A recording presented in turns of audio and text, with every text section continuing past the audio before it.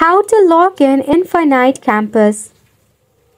Hey everyone, welcome back to the channel and let's get right into this quick and easy tutorial. For this, launch a preferred browser in your device, then search for Infinite Campus. This will redirect you to the official webpage of your Infinite Campus. At the top, locate the three horizontal line or the menu section. Click on the menu option. Over here, you will see the login button. Click on it. Right over here, firstly, you will have to enter your district name. Then select on your state. Then you need to click on the search button.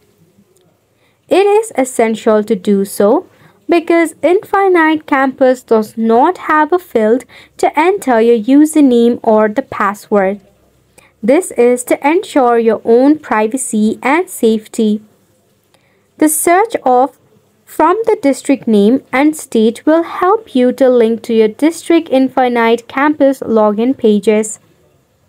By this way, you'll be able to log in into Infinite Campus. And just like that, you have made it to the end of the video as well.